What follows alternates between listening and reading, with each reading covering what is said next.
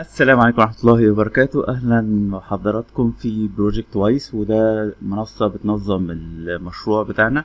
بحيث تبقى عارف المشروع وصل لفين تبعت تاسكات للناس لو في أي مشكلة تقدر تقول للناس عليها.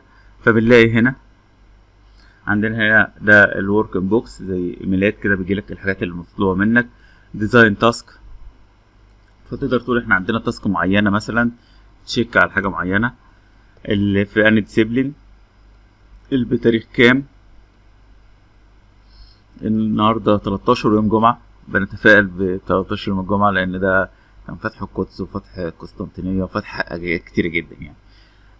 تمام؟ طيب ال status ممكن تقول له assigned لعمر. طبعا هو الوحيد اللي شغال في الشركة فكل حاجة عليه. لو في description close save أو ممكن تقول له save and exit لو أنت مش عايز تضيف أي بيانات تانية.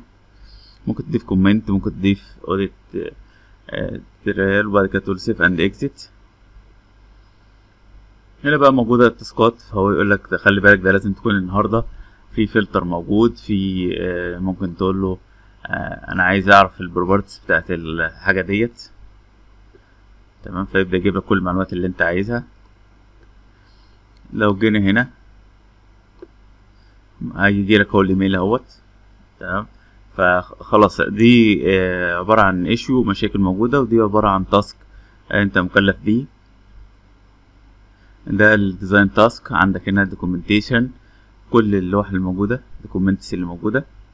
وهنا الاي models design review المراجعة ال issue لو في أي آه، مشاكل deliverables.